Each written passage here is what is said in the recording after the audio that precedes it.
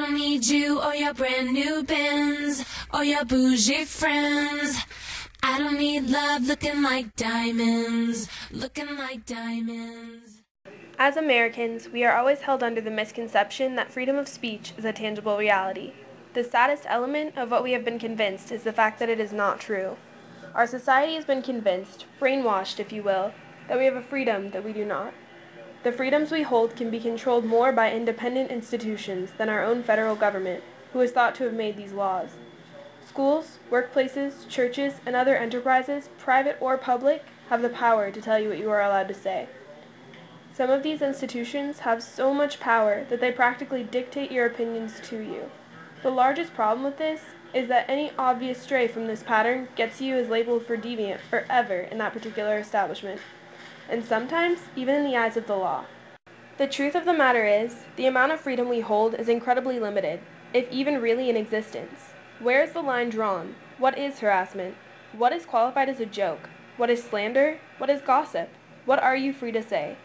Everything that I just listed is a gray area.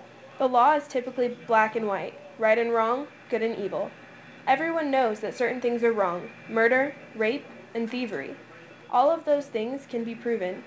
Murder, very obviously, is proven by a body, a soul that was lost, and a person who will never get the chance to see their loved ones again. Rape is apparent by the physical signs and the mental impact. Thievery is clear when shown that something is missing. When it comes to things that are said, where can you draw the line? How do you know it even happened? The problem is, you can't.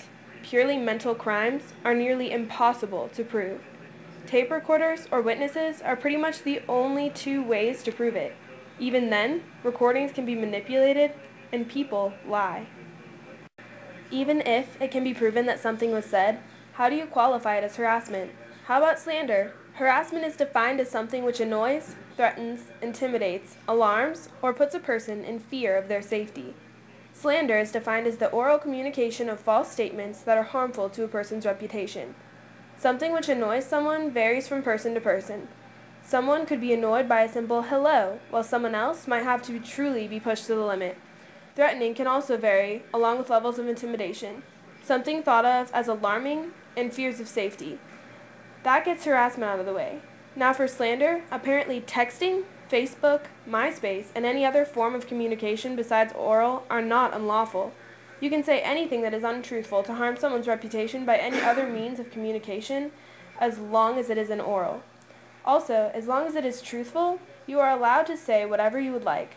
The problem with this is looking at the way someone thinks about themselves. If you say, Cindy is a slut, and Cindy believes she is a slut, it doesn't matter how truthful the statement technically is, because it is a matter of opinion. The basic problem with defining slander and harassment is that they vary based on the person. Freedom of speech limits itself to every individual's opinion. What is found to be legal for me to say today might not be legal for you tomorrow. Is that right? Look around. Everywhere you go, someone is getting in trouble for breaking the norm of filtering what they say. The truth is, breaking the norm is probably unavoidable. However, freedom of speech is a lot more dependent on who is saying it, who is receiving it, or where it is being said than most people have been brought up to believe. I think it is time to either accept our lack of freedom or fix the way the justice system is put together. Our opinions should not govern the way we live, so why do they? And a better question, why do we allow them to?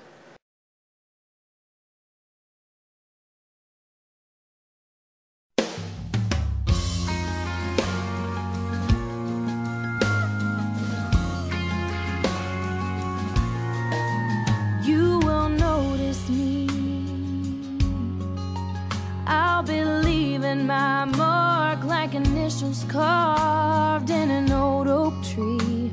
You wait and see.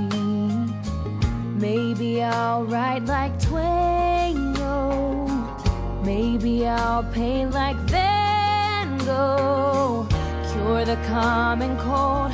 I don't know, but I'm ready to start. Cause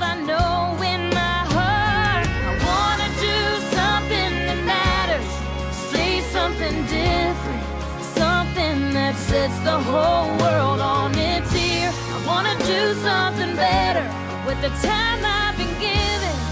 I wanna try. touch a few hearts in this life, leave nothing less than something that says I was here. Pork fried noodles?